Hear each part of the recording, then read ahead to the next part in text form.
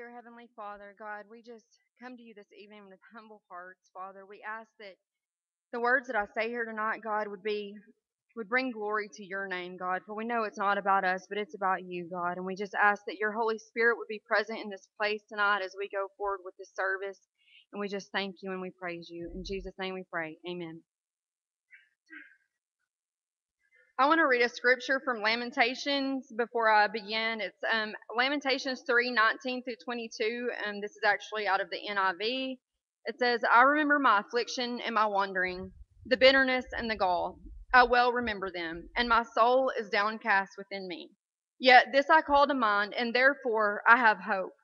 Because of the Lord's great love, we are not consumed, for his compassions never fail.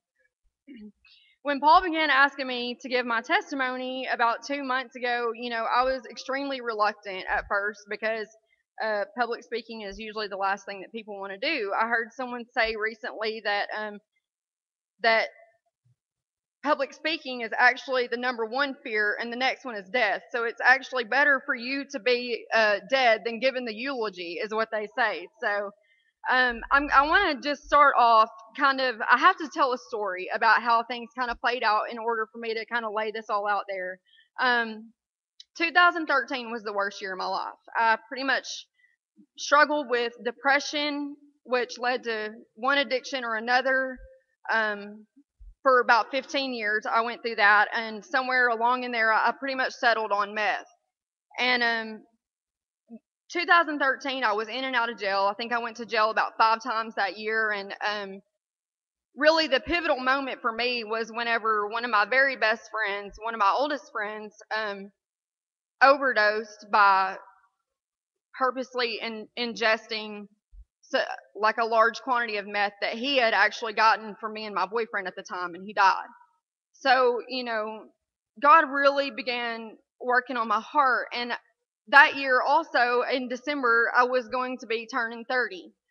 Well, I had started doing meth when I was 15, so the closer it got to my birthday, the more I started realizing, you know, after this birthday, I've spent longer of my life being high than I have being sober. And who am I outside of this life that I'm living? Who who am I really besides this strung out drug addict who has a daughter at home who I leave there because in my head, I justified the fact that I, at least I wasn't dragging her around, but that's no excuse to not be a mother.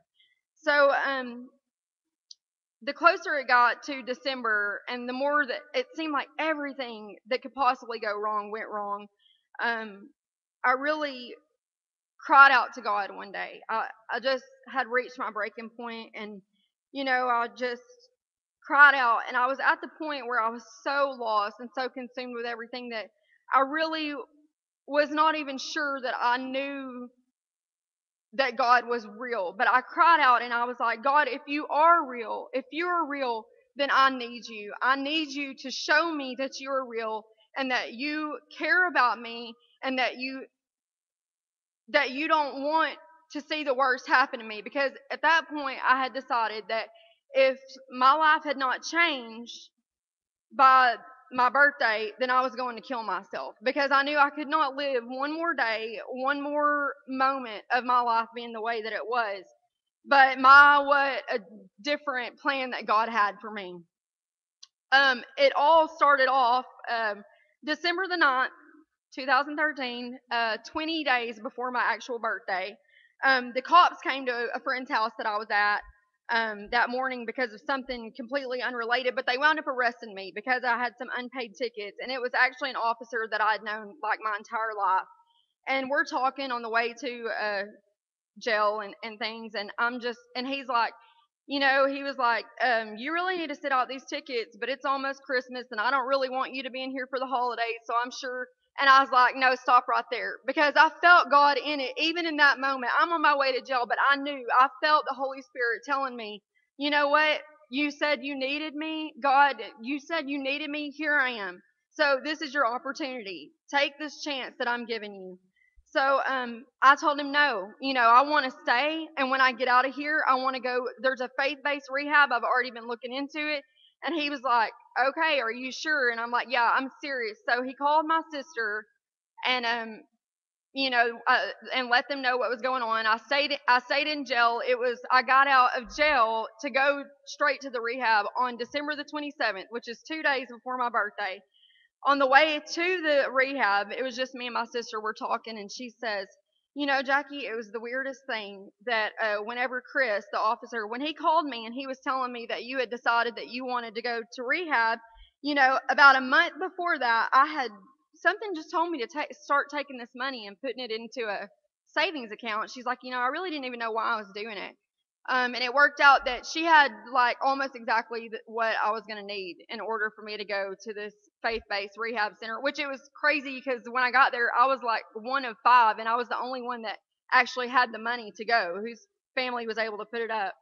Um, so, anyways, here I am. It's two days before the day I had planned on, you know, taking my own life, and I'm in a faith-based recovery. I'm, you know, we're deep in the Word by that time. Um, in February of 2014, um, the best day of my life, no comparison whatsoever, was the day that I got baptized. Um, since that time, here I am. It's been a little bit over a year and a half later. Um, God has literally hand placed me in the job that I work in. I'm filled with uh, it's filled with Christian women that are supportive and strong. Um, I am leading a women's Bible study group every Monday night. I'm in youth ministry at my church. Um, needless to say, what God's plan was compared to what my plan was was very similar in the sense that I was going to die. And I did. I died to myself. And I was brought back in Christ. And um and saying all that, I just want to say that you never really truly know who you are until you know who God says that you are, because that will change you. Um, you do not know how to give until you understand what was given for you. You don't know how to love until you experience the Father's love for you. Um, you've never truly lived until you've been reborn. Um, don't leave here tonight if you have a need. Don't let pride keep you from speaking to someone here about whatever it is that's bothering you. Um, God loves to take who the world calls a lost cause and make them into his most devoted followers. James 4:10 says, "Humble yourselves before the Lord and he will lift you up." Um Since I gave my life to Christ, I've been delivered from things that I never even realized was a bondage. I've been delivered from depression, anger, worry, um, addiction. You know, the, there's things that are obvious forms of bondage that we can think of that are just quick to name, but there's things that I was delivered from immediately that I didn't even realize until after they were gone that I had a problem with. Um, if you struggle with anything tonight, anything at all, if anything has a hold over your life, then talk to someone here. The people that are here in this ministry, they truly, genuinely care about you. They they know they know what God has done for them and they want to see God do that for you. And all you have to do is come and talk to someone. Um, and in closing, I just want to read what I thought was a poem, but it turns out apparently that it's an old hymnal. Um, it says, Roll back the curtain of memory now and then. Show me where you brought me from and where I could have been.